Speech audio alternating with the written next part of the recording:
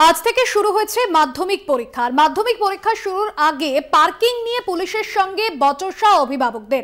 পানিহাটি পুরসভার উনিশ নম্বর ওয়ার্ডের ঘটনা, মাধ্যমিক পরীক্ষা কেন্দ্রে বচসা পরিস্থিতি তৈরি হয়।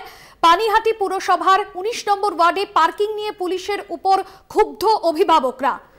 জয়ন্ত জয়ন্ত মজুমদার রয়েছেন আমাদের সঙ্গে ফোন লাইনে। জয়ন্ত, ঠিক কি পরিস্থিতি তৈরি হয়েছিল? অভিভাবকরা কি অভিযোগ করছেন?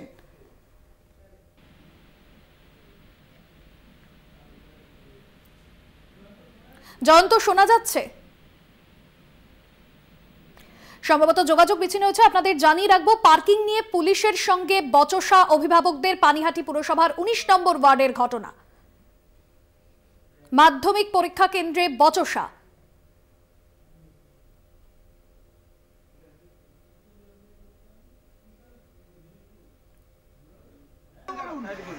আমি তখন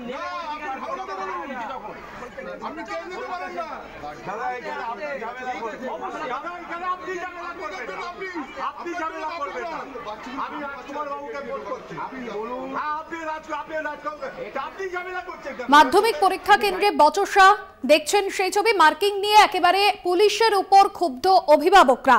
পার্কিংকে কেন্দ্র করে বচসা পরিস্থিতি তৈরি হয় পানিহাটি পুরসভার উনিশ নম্বর ওয়ার্ডে।